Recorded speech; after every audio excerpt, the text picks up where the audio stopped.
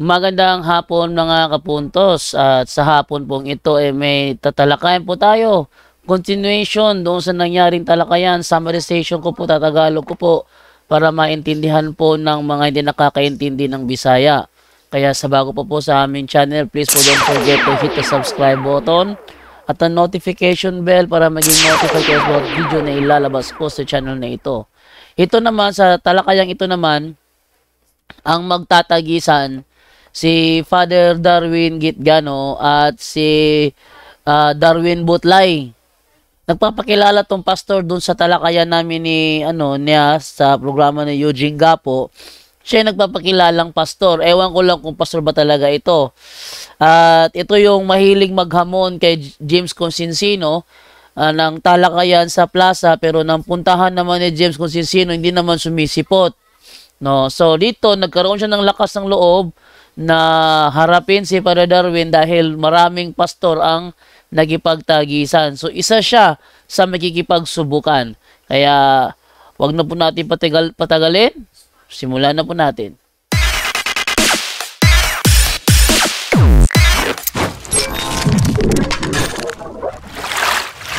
Nakasabot na kasi tingnan sa Katoliko. Salamat, ang papangal ng Ikson. Okay, kasi tinuhuan, tinuhuan, ipailay imong kuhan, ipailay imong kining tinuhuan, o kung sa po imong posisyon. Okay. So, ako na si Darwin no, Burnagin. Darwin Bortray. So, sakay na So, mo ni akong pangutan na patre. Ah, Burnagin po. Ah, Burnagin. Ah, pastor po po.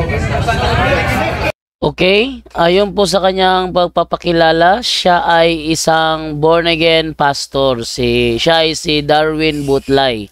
So, kapangalan niya si Father Darwin Gitgano at siya ay pastor. Si Father Darwin ay pare, siya naman ay si Pastor Darwin. okay, no?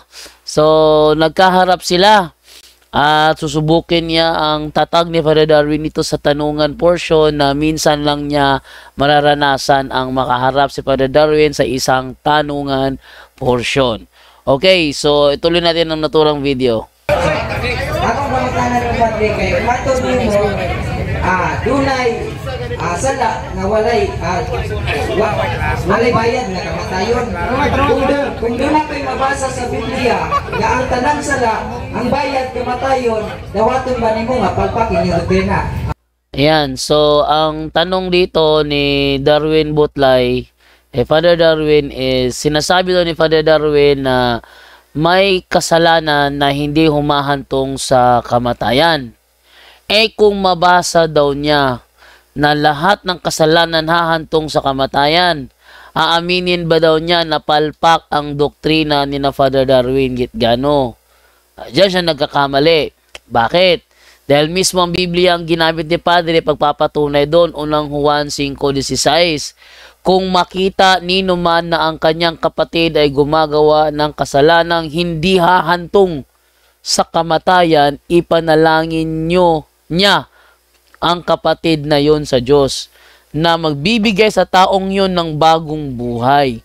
Ito ay para sa mga kapatid na ang kasalanan ay hindi humahantong sa kamatayan. So, hindi yan pahayag lang ni Father Darwin, kundi yan ay binasa niya sa patunay ni Juan.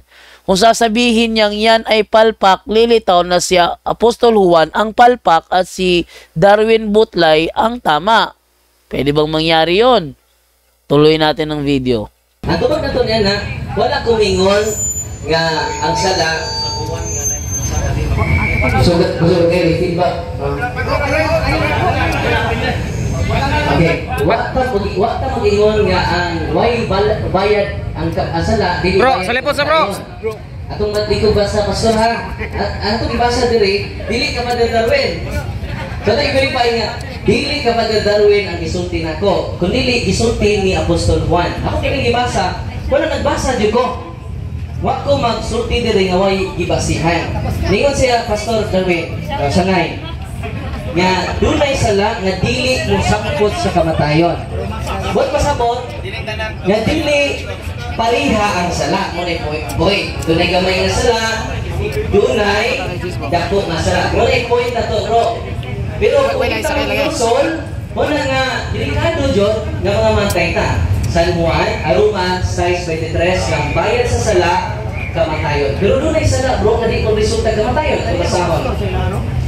Ningon din ni, ito basahon, Pastor Darwin ha, kung may makakita sa iyang isikataw na nakasala, apa ng sala, dili mo sangpot sa kamatayon. So, Pastor Darwin, dili ako nag-ingon anak. Si San Juan ang nag-ingon anak. Kung imo kag palpak, si San Juan ang palpak, di Darwin. Oh, yon. Doon sa video na yon, eh, sinabi ni Father Darwin na hindi siya yung nagsabi, kundi binasa lang niya sa aklat ni Apostol Juan sa unang Juan 5.16.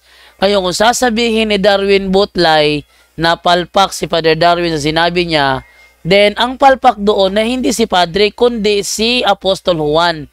Kasi binasa lang ni Father Darwin ang pahayag ni Apostol Juan. So uyo na ka pastor nga ang. Okay.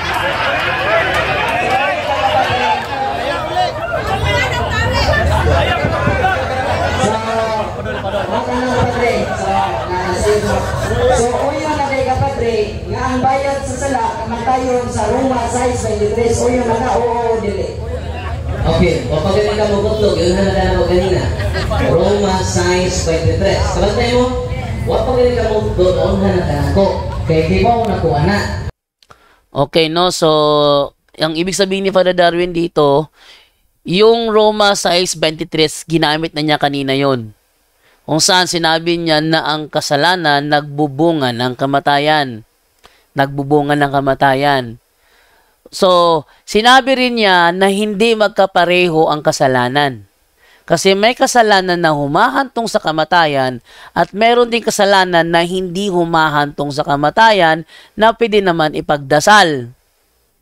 Pag ipinagdasal mo ang kasalanan na hindi humahantong sa kamatayan, mapapatawad yun sa pamamagitan ng dasal nung taong nagdarasal para sa naturang tao.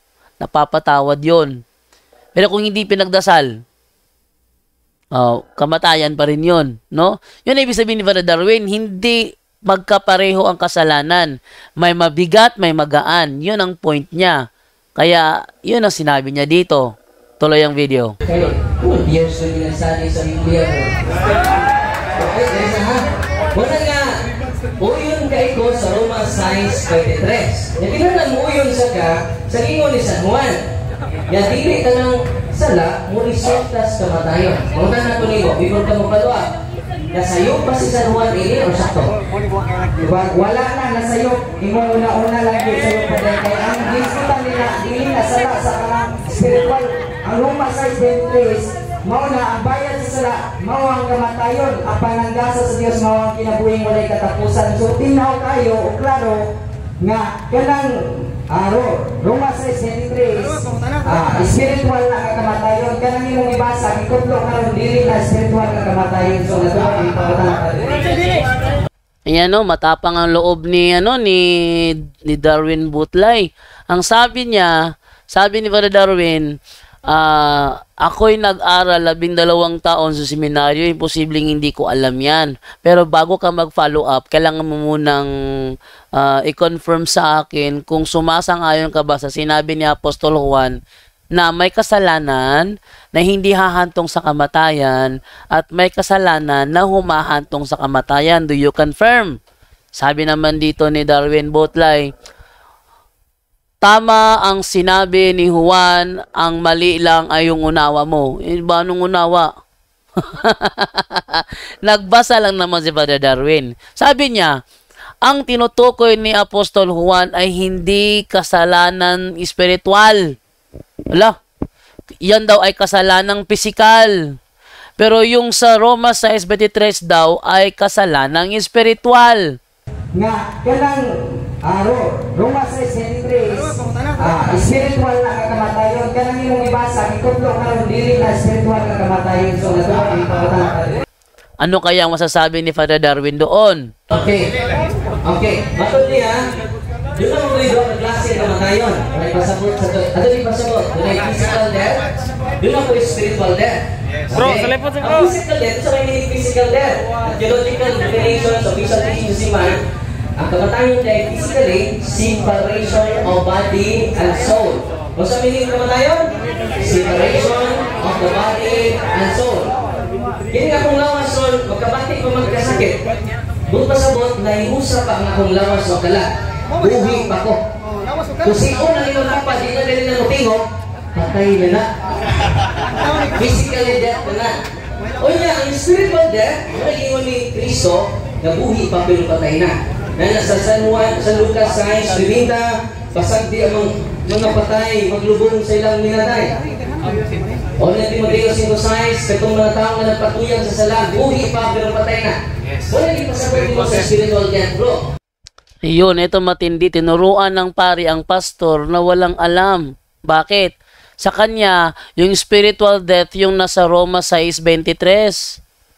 Yung binasa daw sa unang 1.5.16, yun, ah, daw, yun daw ay hindi spiritual na ah, kasalanan. Oh? Spiritual na kasalanan. Yun daw ay physical physical na ano na na kasalanan. Yung namang isa naman spiritual na kasalanan. Okay. Ang sabi ni Father Darwin, ah, sa Biblia, hindi ganyan ang sinasabi. Sa Biblia, may physical death, may spiritual death. No? May physical death, may spiritual death. Ang physical death, yung, mam, yung mam- mamatay yung katawan mo, maghihiwalay ang kaluluwa at ang katawan. Yan ang physical death.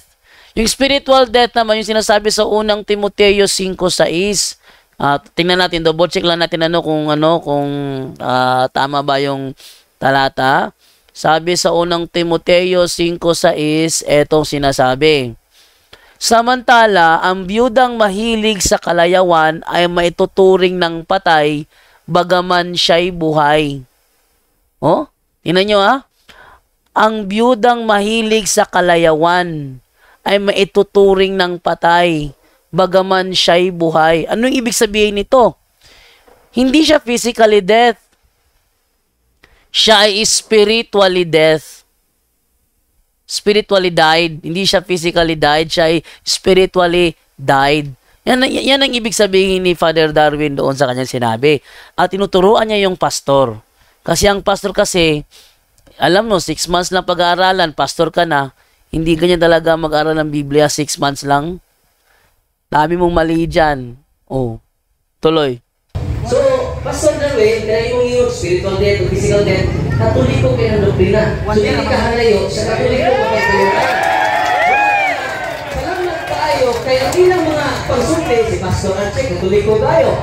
Si Pastor Willie, katoliko tayo. O, yan na, yan na. Katoliko na, pinuli, Roman. Marunong kailan, no? Kailan, wala. O, pare, buhi, pas physical, buhi daw. Amigo kayo na to. No? O si Pastor Darwin, kanang imong uh, tsulohiya Pastor Darwin, very Catholic na. No. Muna nga, dili ka halayo sa pagtuong Katoliko. Sunod pangutana pa din. Ngayon, pinaliwang ni Father Darwin na ang explanation ni Darwin Butlay ay hindi hindi nalalayo sa doktrina katoliko. Yung sinabi din ni ano ni Archie hindi din nalalayo sa doktrina katoliko. Ngayon, meron pa isa sa likod, Sale, sabi ni Father Darwin, hindi Roman Catholic yan. o yan ang sinabi niya, hindi nalalayo sa Roman Catholic ang kanilang pinagdo, pinagdodoktrina. Sa madaling salita, hindi nila nilalabag ang opisyal na turo ng Katoliko bagkus wala lang silang alam kaya ang sa kanila feeling nila sila ang nasa tama. Sila ang nasa tama, feeling nila. Kasi wala silang alam sa aral katoliko kaya kinukontra nila ay hindi aral katoliko kundi ang akala nila na aral ng katoliko. Yun ang malaking problema ng mga sulpot. Tuloy. Sumala sa Salmo 118, versikulo 20, nga walay hugaw makasulod sa gingharian sa Dios. Kana bang hugaw nga gipasabot dili na sala o sala na siya. Ka pa din? Salamat kayo. Sakto kayo ang imong gisulti. Ang Hugaw. Ang Very Catholic kayo. Una na kini, sino yung sumaksupag na to? Si Brad Marcelo? Karon, Ah, katoliko na ako. Wala nga, oh, wala hinay lang kini umali. So, sakto kay lang imong gikuan bro, ang makahugaw sa ta- tao ang ato sala. Wala nga, mao ko na pagtulunan ako katoliko. Wala nga, salamat kayo kay ang imong mga huna-huna, supay kaayo to. Gamay lang kuwang to. Yan, tingnan mo itong si Darwin Butlay. Ang gusto niya, tutulan ni Father Darwin yung nakasulat sa awit na walang kasalanan makakapasok sa langit. Bakit mo patututulan ng doktrinang pabor naman sa amin? Pinapakita lang talaga ni Darwin Butlay na wala siyang alam. okay, no?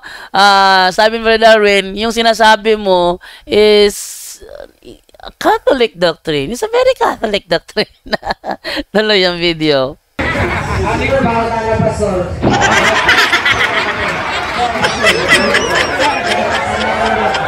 Ah, hindi mo tagasanay. So, pare, ah, sanay na lang, parang hindi mo lang. So, sila parang, parang mga masanay.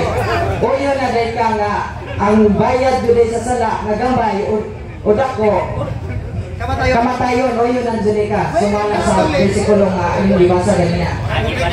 Okay. Okay. O yun ko partially, pero no ko partially.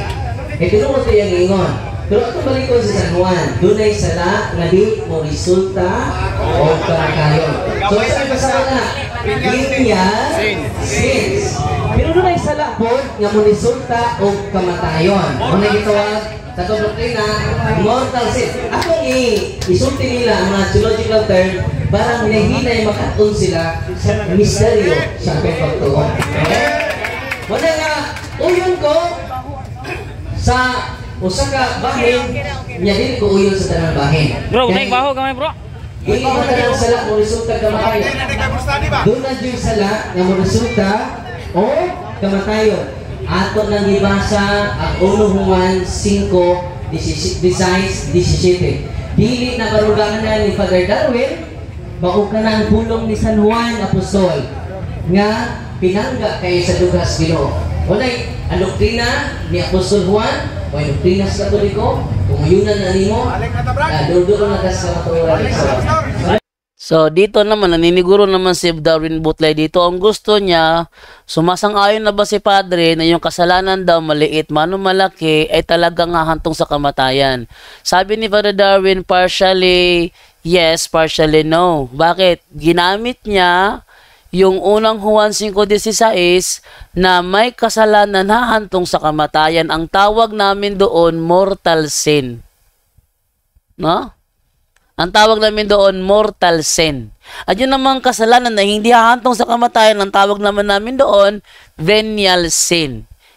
Kaya pinangalanan para maunawaan ni Darwin Butley ang pinagkaiba ng mortal sin at ng venial sin. Hindi yung gawa-gawa ni Padre. Yun ay sinabi ni Apostol Juan, doktrina ni Apostol Juan itinuturo sa iglesia para ang iglesia gamitin at maunawaan. Yun. At para si Darwin Butley makaunawa kung ano talaga ang aral ng Katoliko. At yung sinasabi niya, maliit man o malaki, pareho lang, yon ang wala sa Bible. Ang sabi sa Bible, magkaiba. May hahantong, may hindi hahantong. Magkaiba. Kadarwin Butlay, pareho. Yon ang dapat niyang itigil. Tuloy. Ano na ang mga na pastor? Ano na ang pastor?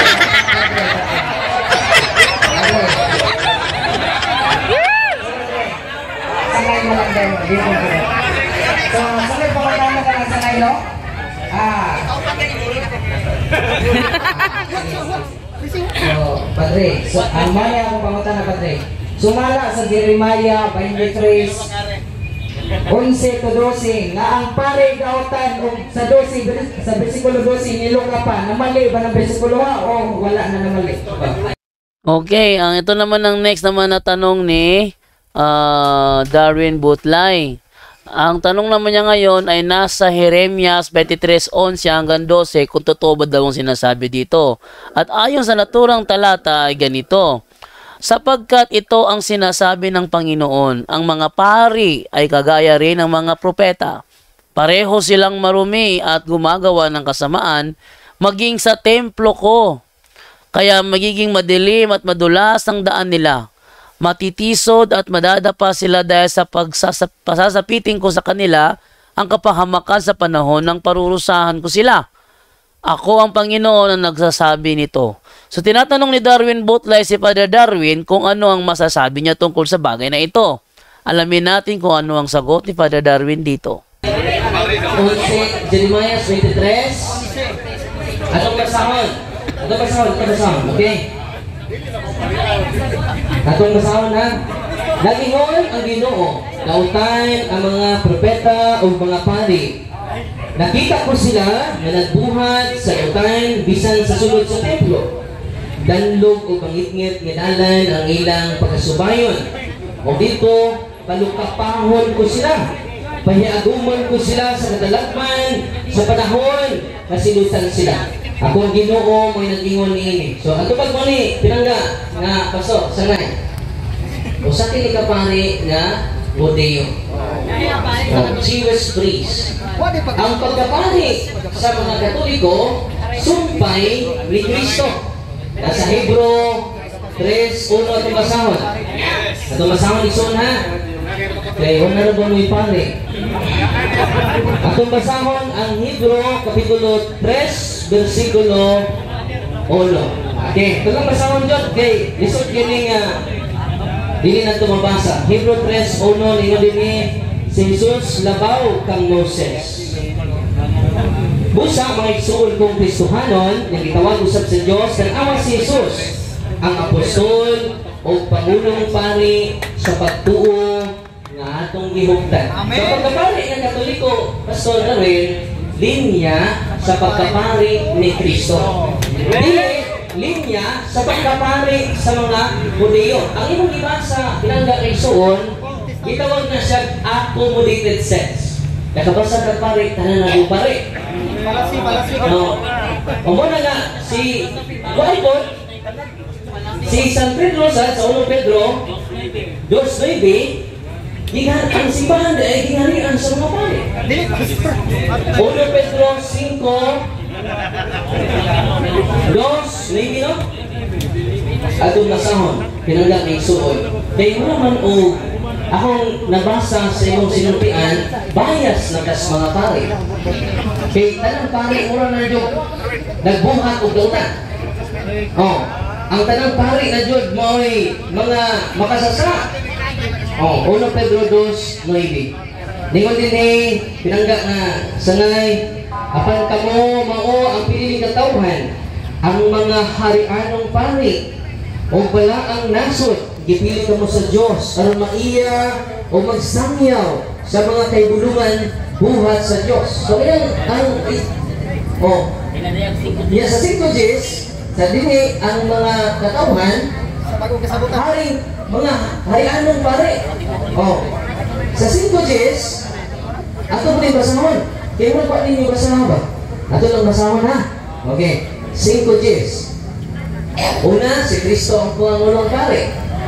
Okay, kung ngayon ka nga mga pare, dautan, uy, ang pangulo, ako si Kristo. Kasi, Delikado ang atong pagtuo niya. Sige naman kayo, Jesus is the answer. Wow. Sige kayo, Jesus is the answer. If Jesus is the answer, who is the question? What is the question? Sa pinanayag si Jesus, ino din eh, ihimo mo silang dingharian sa mga pari aron mag-alagad sa atong Diyos o maghari sila sa kalibutan. So doon ay mga pare nga Hudeo, ang ikang sayod pastor, di ba si what ni ma-appeal sa inyong diskusyon, doon na po'y mga pare nga bago karon sa laray na sa atong Ginoong Heso Kristo. Kung sa ordination na mo, pastor, giinan ni sugod karon ang tanang giordinahan in persona Christi. O sa tanang in persona Christi? Representative of Jesus Christ. The person of Christ. In the person of Jesus Christ. Manang pastor, ang iyong gitudlo dili ma apply, apply ninyo sa paring katoliko. Kaya ang iyong gibasa pari sa pinuhuan sa mga Hudyo. Yan. So, ito ang summarization. Ito sabi ni Father Darwin.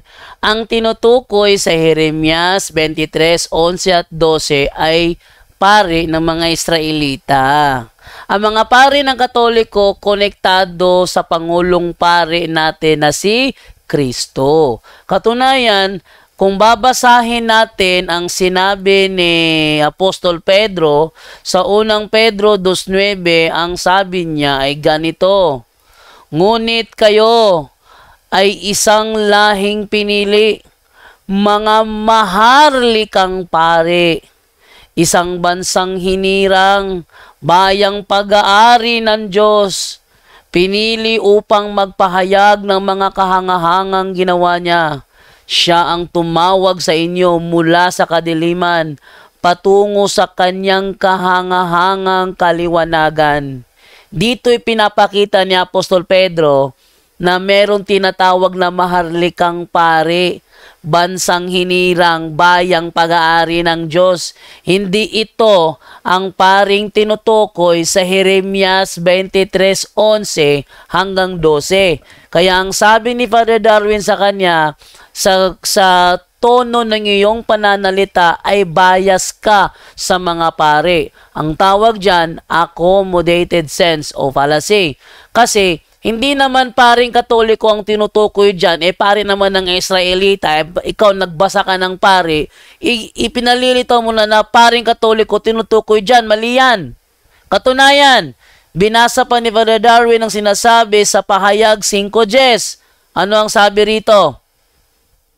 ginawa mo silang isang lahing maharlika at mga pari na itinalaga upang maglingkod sa ating Diyos at sila'y maghahari sa lupa.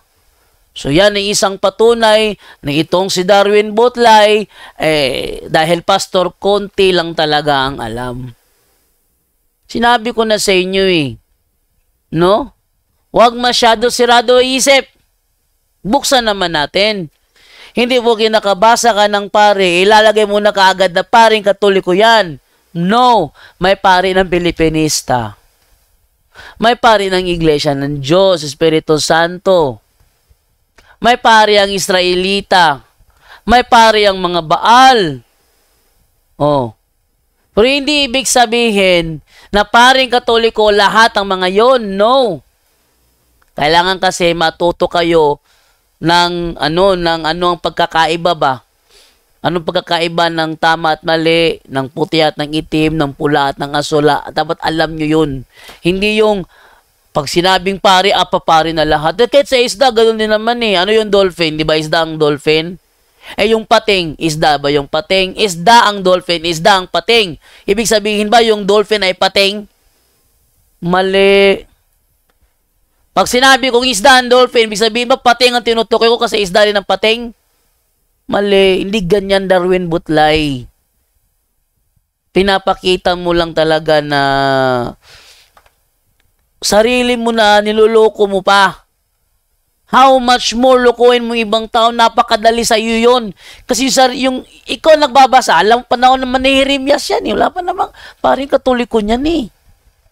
Ha? Wala nga paring katoliko niyan. Nakitaan ko, nakitaan ako, hindi nakita na, ano may paring katoliko na ba niyan? Para lang niya kayong sabadista niyan, nakabasa lang ng, nakabasa lang ng isa, Ezekiel 22-24, pare, aba, paring katoliko na kaagad. Di naman ang paring katoliko ang binigyan ng sabat. Oh. Ano talaga? Ah, talagang sinasadya nyo lang talaga yan. Siguro hindi ko alam kung kayo ay binayaran. Malamang kayo ay binayaran kasi todo effort kayong ano eh. Tingin mo ba, uubra kay Father Darwin ng style na ganyan? No. Kaya ang ampare dapat 12 years mag-aral. Tingnan mo ang pastor 6 months lang. Ganyan umunawa. Para makita ninyo ang pinagkaiba ng pagiging pastor sa talagang pare. Tingnan nyo, ang late ng alam ni Darwin Butlay. Tuloy natin ang video. Guys. Last one, Brother Isaac. Dili. Tagay. Dili. Masalamat kayo sa pagpakay si Masindot din nga na. Sunod na itong namin preaching, Pas- Pastor Darwin. Balik yapon, balik. Nakakabang mo. O yan ang paminaw, ay na kay lain kay na magsalita po sino yung puro ng puso. What? Why mga tulan na ito mga tao? Niya si Brad Rizit Saleh. Ang paluwa pa to kay Nakatuloy ko Corday Roman. Yan, so hanggang doon lang pala yung oras ni Darwin Botlay. Nag-thank you na si Father Darwin para makapagtanong naman yung iba. Ibig sabihin doon, eh, magparing, ah, ano tayo, ah, makinig tayo. Hindi yung puro ka lang salita, dapat matuto kang makinig. At based sa aking ranking sa nangyaring talakayan, yung mga banat ni Darwin Botlay, hindi umubra lahat yun. Out of context siya lagi. Yung sulat ni Apostol Juan, sinang-ayunan daw niya pero mali daw ang unaway. Ano ba ibig sabihin ng sinasabi ni, ni Apostol Juan na may kasalanang hahantong sa kamatayan at may kasalanang hindi hahantong sa kamatayan? Eh pareho naman pala, kung pareho lang pala, ba't may, ba't isa hahantong yung isa hindi? Pareho lang naman pala. Oh. So doon, butata si Darwin Butlay. Dinagdagan pa. Doon naman tayo sa ano sa Jeremias 23. Yun ay ah, pari ng mga Israelita. Katunayan, yung binasa niya 23:11. How about basahin natin ang 23:1? Oh, ano bang sinasabi sa Jeremias 23:1? Ganito ang sinasabi. Sa aba ng mga pastor na nangagpapahamak at nangagpapangalat ng sa mga tupa sa aking pastulan, sabi ng Panginoon. Yung binasa niya, verse 11. Eh, verse 1, pastor naman palang tinutukoy. Oh. Eh, paano ngayon yan? Anong ideya mo dyan, Darwin Butlay? Kaya, bago sana, bago sana humusga, magbigay ng fallacy or accommodated sense, eh dapat sana is unawain na mabuti ang konteksto. Panahong ito, may, may, may katoliko na ba? Wala pa. Alamin mo kung meron na ba o wala pa. Kung meron na, sino ang satupapa nila ng panahong ito? Kung wala, edi wala. Wala naman, ano lang naman yun eh. Di ba? Oh. Ano naman yun eh. So, doon napatu- napatunayan na yung style ni Darren Butlay hindi umubra. At dahil susunod na po si Pisisale, siya naman ang ating gagawa ng episode sa muling babalik nitong straight to the point sa review. Review natin, Tagalog review natin sa naturang talakayan doon sa Tagbilaran City. Dito nyo lang papanood yan sa punto por punto. Ito po si Jando Alabado. Nasasabi po sa inyo, if you learn to be fluent to adapt, you'll be unbeatable. Maraming salamat po.